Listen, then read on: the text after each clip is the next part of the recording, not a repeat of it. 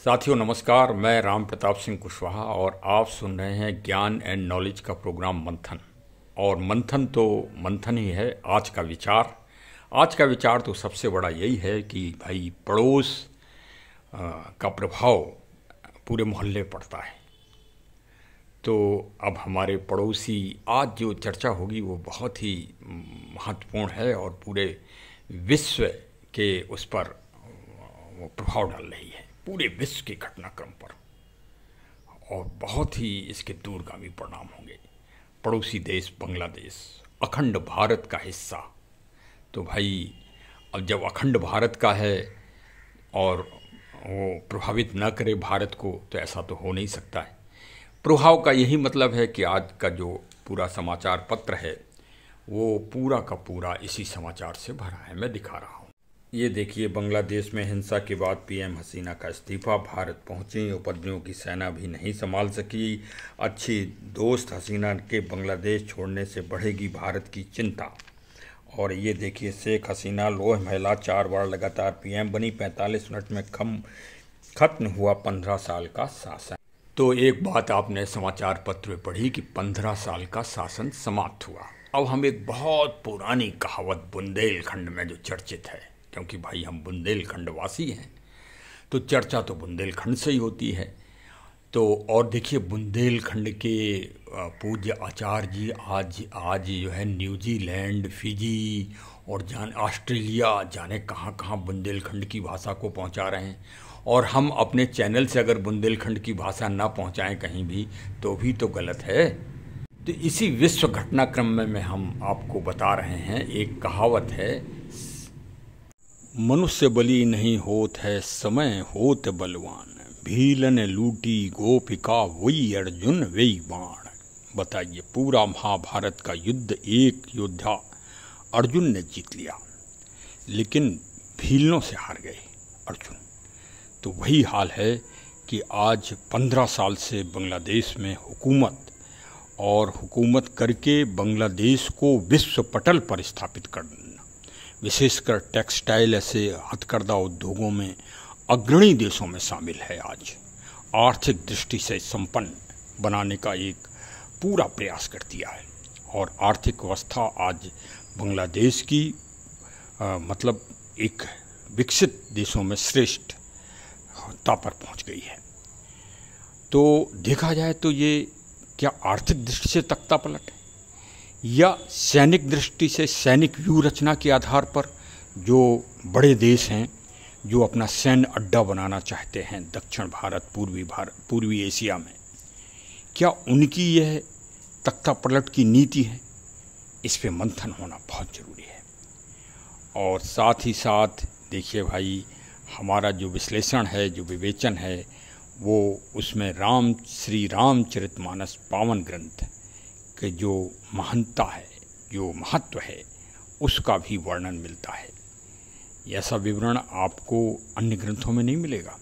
आप चाहे गीता पढ़ लें, चाहे आप वेद पढ़ लें, लेकिन फिर भी क्यों?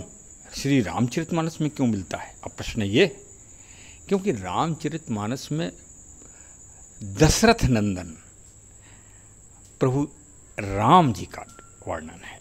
उन्होंने प्रमाणिक रूप से व्यवहारिक रूप से मोटिवेशनल रूप से हम मानवों को प्रेरणा दी है कि कैसे संकट में पड़े शरणागत व्यक्ति को कैसे शरण दी जाए। उसी शरण के प्रतिरूपक के रूप में बांग्लादेश की भूतपूर्व प्रधानमंत्री श्रीमती शेख हसीना जी भारत आ गई हैं और गाजियाबाद के पास हिंडन एयरबेस में वो सुरक्षित पहुँच गई हैं। तो आप उसका भी वर्णन और उसका भी महत्व श्री रामचरितमानस की प्रासंगिकता से समझिए कि आज के दिन भी श्री रामचरितमानस का एक एक मोटिवेशन कितना बड़ा प्रासंगिक है। क्योंकि हमारा चैनल विशेषकर प्राचीन ग्रंथों की और वर्तमान की प्रासंगिकता के सममूल्य को दर्शाने का प्रयास करता है और विशेषकर प्रकृति के जागरण का भी एक विशेष मोटिव रखता है। तो आइए इसी दृष्टिकोण से पर चर्चा सुनी जाए बांग्लादेश में हुई इस अराजकता और तख्ता पलट का सीधा असर भारत की आर्थिक अवस्था पर है और भारत की प्रशासनिक व्यवस्था पर भी है। इसके बहुत ही दूरगामी परिणाम होंगे। और भारत को भविष्य के लिए एक ये जगाने का भी काम है कि कम से कम अब जाग जाओ, अब अपनी व्यवस्था को ठीक कर लो, अब जो समस्याएँ हैं उनको व्यवस्थित रूप से कर लो और भविष्य के लिए गंभीर हो जाओ। ये भी एक मोटिवेशन है इस घटना से। हाँ क्योंकि ये विदेशी ताकतें कहीं भी कुछ कर सकती हैं और भारत में, भारत को तो ये एक बहुत ही टेढ़ी नज़र से देख रही हैं जब से भारत की समृद्धि और भारत की संगठन शक्ति और रक्षा शक्ति में विकास हो रहा है। या आप इनके चाटुकार बने रहें इनकी हाँ में हाँ करते रहें तो ये आपको आ, अपना गुलाम की तरह मतलब करते रहेंगे। उपयोग यूज़ अगर आप तीसरी शक्ति का नारा लगाएँगे तब तो फिर आपको फेस करना ही पड़ेगा। षडयंत्र, जाल और कॉन्स्प्रेसी इन सब का सामना करने के लिए आप तैयार हो जाएँ। इसीलिए कहा जाता है कि अपनी योजना पहले से नहीं बताना चाहिए। किसी को भी यही यही महागुरु चाणक्य जी भी समझा गए हैं। लेकिन फिर भी हमारे मान्यवर प्रधानमंत्री जी कहीं ना कहीं गलती कर ही बैठते हैं। जैसे 400 सीटों का लक्ष्य भी घोषित कर देना पहले से। ये भी एक अहंकार की श्रेणी में आ गया और इसके परिणाम देखना पड़ गए कि जो है, विपक्ष सक्रिय हो गया कि 400 तो हम नहीं लेने देंगे। हाँ तुम जीत जाओ, वो तो मंजूर है, लेकिन 400 नहीं हम लेने देंगे। और वो अपनी इसी जीत को देखिए हाँक रहे हैं कि हाँ हम जीत गए। तो ये भी एक, ये सब इसमें बहुत ही दूर दूर की पार्टियाँ भी शामिल हैं इस कार्य में। हाँ खैर, ये तो भाई अब राजनीतिक लड़ाइयाँ हैं, चलना ही चाहिए। लेकिन जो तीसरी शक्ति का नारा भारत ने दिया है, उसका तो भाई अब आपको विरोध का सामना करना पड़ेगा और वही विरोध और वही आपको कमज़ोर करने का ये षड्यंत्र है, बांग्लादेश का तख्ता पलवटता और सुनिए, चलिए। देखिए, मैं आपका ध्यान भारत की एक भीषण और भयंकर समस्या के ऊपर ध्यान आकर्षित कर रहा हूँ, जो भारत की सामाजिक विषमता के परचायक होती जा रही है और एक दिन ये भारत में विद्रोह का रूप अवश्य ले लेगी, अगर ये इसी तरह रही। और वही बांग्लादेश में हुआ कि उस समस्या छोटी सी चिंगारी को विरोधी तत्वों ने पकड़ के और भीषणता प्रदान कर दी। बस यही भारत में होगा, आरक्षण मुद्दा। देखिए, इससे भारत को बहुत बड़े दूर के संदेश लेना चाहिए, जो वहाँ छात्र आरक्षण का विद्रोह हुआ। देखिए, सामाजिक विषमता का ये विषय है। आर्थिक विषय तो हमने बता दिया वर्ल्ड स्तर पर। अब आर्थिक स्थिति में तो भाई, आप जानते हो कि सबसे ज़्यादा हित अगर किसी के दुनिया में है तो आज अमेरिका के हैं। और ये सारा खेल उसी में है, क्योंकि एक चुनी गई सत्ता, लोकतंत्रात्मक सत्ता को इस तरह से समापन कर दिया जाए और अमेरिका चुप रहे। और ये कहे कि हाँ चलो, अब जो अंतरिम सरकार बन रही है, उसका हम वेलकम करते हैं। तो इसका मतलब सब खेल अमेरिका का है। चीन इनको बदनाम करना बेकार है और पाकिस्तान के इतने बुते की बात नहीं है कि पाकिस्तान हाँ ये तो उपद्रवी तत्व तो हो सकते हैं। वो तो नहीं कहा जा सकता, वो तो अलग चीज़ है। तो वो तो भाई पाकिस्तान का अंग तो पहले से ही रहा है। इसमें क्या दुरा है? तो पाकिस्तान के लोग तो वहाँ होंगे हाँ। और भाई, शेख मुजिबर रहमान जी की मूर्ति पे जो आक्रोश निकला है जनता का, वो आक्रोश आरक्षण का आक्रोश नहीं है। वो दूसरी राजनीतिक विचारधारा का आक्रोश है। हाँ। देखिए, ये तो स्पष्ट हो ही जाता है ना, जैसे एक अपराधी जब किसी की हत्या करता है तो जो जो वार करता है, उससे उसका दृष्टिकोण मालूम पड़ जाता है कि इसके मन की भावना क्या है। तो वहाँ बंग बंधु शेख मुजिबर रहमान जी की मूर्ति पर हमला, वो एक विचारधारा का हमला है। अब प्रश्न ये है कि भारत को इससे क्या प्रेरणा लेना चाहिए, क्या मोटिवेशन लेना चाहिए? देखिए, भारत में भी आरक्षण की बहुत जटिल समस्या चल रही है, बहुत जटिल। और आप ये समझिए कि उसका भी कोई निराकरण नहीं हो रहा है। ये माननीय सर्वोच्च न्यायालय जी ने चार साल पहले आरक्षण पर दूसरा निर्णय दिया था। अब वो निर्णय स्वयं ही अपना बदल दिया।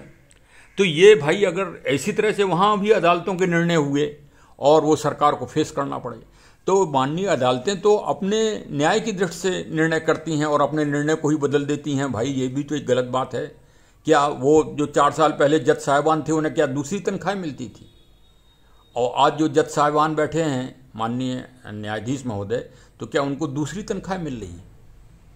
हैं? सारे साक्ष्य तभी संकलित करके निर्णय करना चाहिए। ये तो जनता में भ्रम पैदा हो रहा है।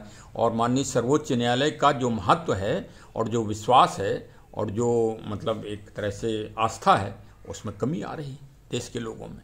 और इसका प्रभाव सरकार को झेलना पड़ेगा। इसका प्रभाव भी सरकार को ही झेलना पड़ता है। शांति व्यवस्था और प्रशासनिक व्यवस्था सरकार का जुम्मा है। यही तो बांग्लादेश में हुआ। तो आरक्षण की जो समस्या है, वो बहुत गंभीर है। देखिए प्रारंभ से ही आरक्षण से, देखिए इस देश में पाँच, छह विचारधाराएँ हैं इस समय। एक तो सवर्ण विचारधारा, एक बैकवर्ड विचारधारा, एक एस सी एस टी विचारधारा, एक मुस्लिम विचारधारा, एक ईसाई विचारधारा, एक सिख विचारधारा, एक बुद्ध विचारधारा और एक जैन विचारधारा और एक अन्य। तो इस तरह से सात विचारधाराएँ हो गई। सातों विचारधाराओं के लोग आरक्षण चाह रहे हैं। कुछ लोग आरक्षण से नाराज़ हैं, बहुत नाराज़ हैं। वो तो आप ये समझिए कि सवर्णों के बच्चे विदेश चले जाते हैं और विदेशों में अपना पेट के लिए रोजी रोटी करते हैं। और विशेषकर अब जो आरक्षण सवर्णों में जो छत्री कुल हैं और भाई पंडित जी तो अपने मंदिर में पूजा पाठ में व्यस्त हो गए। उन्हें तो जीव का मिल गई एक उनकी तो जीव का कभी खत्म हुई नहीं। जैसे अब राम जन्मभूमि जी का मंदिर बना तो वहाँ पच्चीस पुजारी एक तरह से नियुक्त हुए तो पच्चीसों ब्राह्मण हो गए। लेकिन ये बताओ, छत्रियों के लिए कौन सा रोज़गार है? कहीं रोज़गार है उनके लड़के आवारा हो रहे हैं बेरोजगार हो रहे हैं। कोई रोज़गार नहीं उनके लिए। वो तो भाई आ, कहीं ऐसा भी नहीं है कि नहीं सेना में उनका रिजर्वेशन है या पुलिस में रिजर्वेशन है या गार्ड में रिजर्वेशन है। गार्ड में भी रिजर्वेशन नहीं उनका तो। भाई उनके लिए सरकार क्या कर रही है? तो वो एक तरह से आक्रोश में है तभी से। हाँ आरक्षण की नीति का वो विरोध करते हैं लेकिन वो समझदार हैं इसलिए विरोध कम है। अब फिर अब आ गए। ओबीसी भी संतुष्ट नहीं है। लगातार मांग करते हैं। एस सी वाले भी संतुष्ट नहीं हैं। कहीं कहीं किन्हीं किन्हीं राज्यों में मुस्लिम आरक्षण की आवाज़ उठने लगी। तो धीरे धीरे धीरे धीरे ये एक जो विरोध चल रहा है, यदि ये विरोध किसी विदेशी ताकत के हाथ में आ जाएगा, जैसे भारत में बीबीसी लंदन आदि विदेशी चैनल हैं, इनको आप सुनिए। ये बहुत स्वीट पॉइजन भारत के समाज में पैदा कर रहे हैं। बहुत ही स्वीट पॉइजन देखो भाई, हमारा चैनल को अगर आपको सुनना है तो पहले एक चीज़ सुन लो कि कबीरा खड़ा बाज़ार में सबकी मांगे खैर, ना काहू से दोस्ती, ना काहू से बैर। चाहे बीबीसी लंदन हो और चाहे अमेरिका हो, हम छोड़ते नहीं किसी को, हम यथार्थ बोलते हैं। हाँ सुन लीजिए साहब। इसमें हमने बता दिया कि अमेरिका ने तख्ता पलट करवाया है बांग्लादेश का। बीबीसी लंदन ने बांग्लादेश में भी जहर घोला और भारत में भी जहर घोलता है। इन सबको इसी में आनंद आता है। ये एक विशेष विचारधारा को बढ़ाते हैं। ये आप नोट कर लो, पूरी दुनिया में। हाँ हम, भाई आप ये देखिए कि अमेरिका के आज 80 जगह इनके सेंटर बन गए हैं, जो मतलब एक तरह से सैनिक अड्डे 80 देशों में, आज की तारीख में। लेकिन भारत के आसपास, दक्षिण एशिया में इनका एक भी अड्डा नहीं है। और चार महीने पहले तो इन्होंने बांग्लादेश के जो चुनाव हुए, उसमें इंटरफियर किया था। और हर रोड़े डाले थे। और ये भारत की भी राजनीति में रोड़े डालते हैं। आप क्या समझते हैं? भारत को अस्थिर देखना चाहते हैं। और ये उसी का ये एक क्रम किया गया है। उसी का ये एक, भारत को कमज़ोर करने का प्रयास किया गया है। हाँ इसको भाई भारत सरकार को, भारत के विपक्ष को भारतीय जनता को अच्छी तरह से इस पे विचार और मंथन करना चाहिए। अब भाई कुछ शरणार्थी लोग भी भारत में आ सकते हैं अपनी जान बचाने के लिए क्योंकि वहाँ पर जो सनातन विचारधारा के लोग हैं उनके सामने भी भीषण समस्या आएगी। और भारत को उन सबको सुरक्षित करना भी एक बहुत ही आ, मतलब एक भारत की कुशल राजनीति की एक परीक्षा भी है। यद्यपि भारत यूक्रेन से और विभिन्न देशों से अपने भारतीयों को सुरक्षित निकाल के लाया है। ऐसी बात नहीं है। और यहाँ भी वो प्रयास जारी है। लेकिन वहाँ तो भाई कुछ नागरिक भी हैं, सनातनी। उनकी भी सुरक्षा करने के लिए भारत की बड़ी समस्या है। और अब जो प्रश्न आया कि माननीय प्रधानमंत्री पूर्व शेख हसीना जी भारत आई हैं तो इसका श्री रामचरित मानस में क्या प्रासंगिकता है और वो क्या मोटिवेशन और प्रेरणा देती है? रामचरित मानस, इस पे चलिए थोड़ा सा सुन लेते हैं सुंदरकांड पे तो आपका मन खुश हो जाएगा कि भारत की राजनीति शुरू से, राम से ही राजनीति है दुनिया की। राम से ही सामाजिक व्यवस्था है, राम, प्रभु श्री राम जी से ही आर्थिक व्यवस्था है। मैं तो कहता हूँ कि भाई, प्रभु कह देना, प्रभु श्री राम जी को उनको छोटा कर देना है। आप तो उनको सिर्फ़ दस, राजा दशरथ नंदन कहिए। एक मानव के रूप में उनकी योग्यता, उनकी कुशलता, उनकी मुखरता, उनके मानव को दिए गए मोटिवेशन कार्य, उनको आप देखिए। जैसे भाई आप किस, आपके समा, आप भी किसी न किसी को अपने जीवन में आइडियल मानते होंगे ना? कोई भी आपका आदर्श होता होगा। कि हाँ हम भाई स्वामी विवेकानंद जी को हम अपना आइडियल मानते हैं, हम फला को मानते हैं। कोई कहता है कि हम माननीय वर्तमान प्रधानमंत्री नरेंद्र मोदी जी को मानते हैं। कोई कहते हैं हम पूर्व प्रधानमंत्री श्रीमती इंदिरा गांधी जी को मानते हैं, जिन्होंने बांग्लादेश के निर्माण में विशेष भूमिका निभाई थी। तो भारत के संबंध तो हमेशा से, चाहे कांग्रेस गवर्नमेंट रही हो, या बीजेपी रही हो, या जनता पार्टी रही हो, बांग्लादेश से हमेशा मधुर संबंध रहे छोटे भाई के रूप में। ये एक विशेष बात है। तो आज भी भाई, ध्यान देना ही पड़ेगा, भारत के स्वार्थ हैं। रोज़ हमारे इधर लाखों, हज़ारों आदमी आते हैं और जाते हैं भारत से। हाँ तो चलिए आप श्री रामचरित मानस को सुन लीजिए। देखिए, सामने है श्री रामचरित मानस का सुंदर कांड। विभीषण जी आ गए हैं, प्रभु श्री राम जी के पास और सुग्रीव जी और सभी लोग उनको रिसीव करने गए हैं। जैसे अभी हमारे सुरक्षा सलाहकार श्री डोभाल साहब गए थे, माननीय प्रधानमंत्री, पूर्व प्रधानमंत्री बांग्लादेश को रिसीव करने। तो देखिए क्या कहती है श्री रामचरित मानस, भेद हमार लैन सठियावा साखई बाँध मोहे असभावा। सखा नीत तुम नीक विचारी, मम पन्न सरना गत भयहारी। किसी ने कहा कि बाँध के लाओ विभीषण जी को। हो सकता है कि दुष्ट विपक्ष, शत्रु पक्ष का है, कोई हमें हानि पहुँचा दे। तो भगवान कहते हैं कि नहीं, जो शरणागत में आ गया है, पहले उसका भय दूर करो और उसको विश्वास पैदा हो कि वो आपकी शरण में आ गया है। अब आगे सुनिए। सुन प्रभु बचन हर से हनुमाना, शरणागत बच्छल भगवाना। प्रभु के वचन सुनकर हनुमान जी हर्षित हो गए, भाई। वो तो हो ही जाते हैं। और मन ही मन कहने लगे कि भगवान कैसे शरणागत वत्सल शरण में आए हुए पर पिता की भांति प्रेम करने वाले हैं। अब जैसे श्री डोभाल साहब ने माननीय प्रधानमंत्री जी को बताया होगा बिल्कुल बताया होगा। राजनीति समझिए आप श्री रामचरितमानस से, कितनी गूढ़ राजनीति है और कितनी प्रासंगिकता है कि आज की तारीख पाँच अगस्त 2024 तक उसकी प्रासंगिकता इन तथ्यों की किस तरह से तार्किक और वैज्ञानिक रूप से है और यथार्थ है, इसको समझने की आवश्यकता है कि राम, श्री रामचरितमानस कितना बड़ा महान ग्रंथ है। और कितना बड़ा मोटिवेशनल है। प्रेरणात्मक। आज लाखों किताबें प्रेरण मोटिवेशन की बिक रही हैं बाज़ारों में, लेकिन वो भ्रम है। सत्य को और जानिए, यथार्थ को जानिए। आइए सुनते हैं।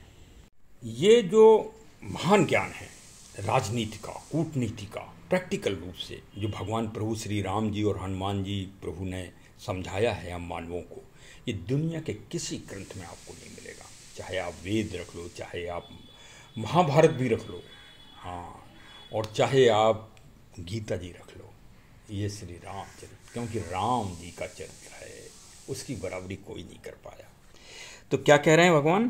कि शरण में आए हुए को पिता की भांत प्रेम करने वाले हैं।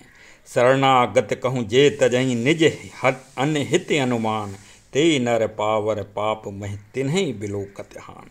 भगवान प्रभु श्री राम जी फिर बोले, जो मनुष्य अपने अहित और का अनुमान करके शरण में आए हुए का त्याग कर देते हैं। वे पामर क्षुद्र हैं, पापमय हैं, उन्हें देखने की भी हानि है, पाप लगता है। मतलब माननीय प्रधानमंत्री जी आई थी भारत, और यदि उन्हें मना कर दिया जाता कि नहीं, हम शरण नहीं दे पाएँगे तो भगवान कह रहे हैं कि आपको पाप लग जाता, आप महा अपराधी हो जाते। वो चाहे आप व्यक्तिगत अपने ऊपर ले लो, चाहे पूरे देश के लिए ले लो। यदि जैसे आपके घर में कोई आपके पर पास शरण लेने आ जाए तो भाई आपका प्रथम धर्म है कि आप उसे शरण दें और उसके भय को दूर करें।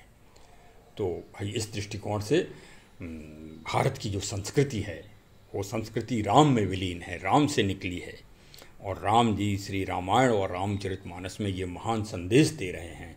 तो इस दृष्टिकोण से जो माननीय प्रधानमंत्री पूर्व बांग्लादेश भारत में शरण लिए हुए हैं, वो भाई श्रेष्ठतम कार्य है। और चलिए आगे तो एक एक कदम पीपल के पत्ते की तरह राजनीतिक स्थितियाँ बदलती रहती हैं। बांग्लादेश में भी भारत संपर्क में है, ऐसा सर्वदलीय मीटिंग भी हो गई है। उसमें सभी पक्ष और विपक्ष के नेता शामिल हुए हैं। कोई विरोधी या कोई अनर्गल टिप्पणी किसी भी मान्यवर की नहीं आई है। ये भारत के लिए एक बहुत बड़ा शुभ संदेश है। और भारत वास्तव में इस दृष्टिकोण में कभी भी अगर देखा जाए तो भारत का पक्ष और विपक्ष और अन्य सभी एक आवाज़ में बोलते हैं। ये दुनिया के लिए एक बहुत बड़ा संदेश है कि भारतीय 140 करोड़ लोगों की आवाज़ एक है। हम भारतीय हैं। हम भारतीय हैं। जय हिंद जय हिंद। चलिए, हमारा आपको ब्लॉग कैसा लगा? हमारी वार्ता कैसी लगी? कृपया पक्ष और विपक्ष में अपने अपने समीक्षात्मक तर्क दीजिए। भारत और बांग्लादेश बहुत ही उसी तरह से संबंध हैं। जिस तरह से कपड़े में जो डोरों से बनती है तो तब कपड़ा तैयार होता है। तो उसी तरह से टेक्सटाइल के मामले में विशेषकर भारत और बांग्लादेश कभी भी अलग नहीं हो सकते। और पूरी दुनिया के कुछ कटाक्ष लोग, कुछ निम्न संकीर्ण विचारधारा के लोग जो पूरी दुनिया में अपनी सुप्रमेसी चाहते हैं, वो इस दोस्ती को नहीं देख पा रहे हैं। और कूटनीतिक रूप से अपनी विचारधारा या अपना लक्ष्य किसी को बताना बहुत बड़ी गलती है। अगर माननीय प्रधानमंत्री जी ने यह बार बार घोषणा की है कि हम देश को तीसरी शक्ति बनाएँगे, उन्हें अपने मुँह से नहीं कहना चाहिए। और अगर कहा है तो अब उसके लिए परीक्षा देना होगी भारत को। विकट परीक्षा। और एक एक रोड़े आएँगे पूरी दुनिया के सामने से। क्योंकि कोई भी बढ़ते हुए नहीं देखना चाहता। यही प्रतिस्पर्धा है और ये एक मानवीय प्रतिस्पर्धा है। एक गाँव में जब दो पहलवान होते हैं तो पूरा गाँव बढ़ जाता है। तो फिर ये तो देश हैं, ये तो बटेंगे ही। इनको आप कहाँ ले जाओगे? तो आप और देश के आ, मतलब कमज़ोर करने की ये एक षडयंत्र है। और इस षडयंत्र में भारत सरकार को बहुत ही दूरगामी और बहुत अच्छे निर्णय लेना चाहिए और सरकार ले भी रही है जिसके हमारी बहुजन समाज पार्टी की बहन जी सुश्री मायावती जी ने भी खोर खोर तारीफ़ की है। और उन्होंने कहा है और बंग, पश्चिम बंगाल की मुख्यमंत्री जी ने भी कहा है कि भारत सरकार जो निर्णय लेगी उस सब के अनुसार हम देश की मजबूती के लिए, देश के दूरगामी बहुयामी मतलब शक्ति बढ़ाने के उद्देश्य से हम वही निर्णय लेंगे। ये बहुत अच्छा संदेश है। चलिए हमारे चैनल को सब्सक्राइब करिए और इसी तरह की साम्यक घटनाओं पर विवेचन सुनते रहिए। बहुत बहुत धन्यवाद। जय हिंद, जय